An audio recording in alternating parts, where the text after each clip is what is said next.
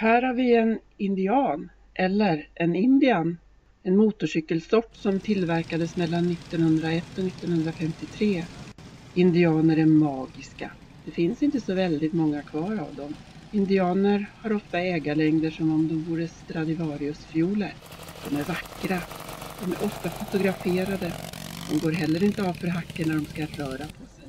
Varje år har något land internationell indianträff. 2017 är det Sveriges tur att vara värdland.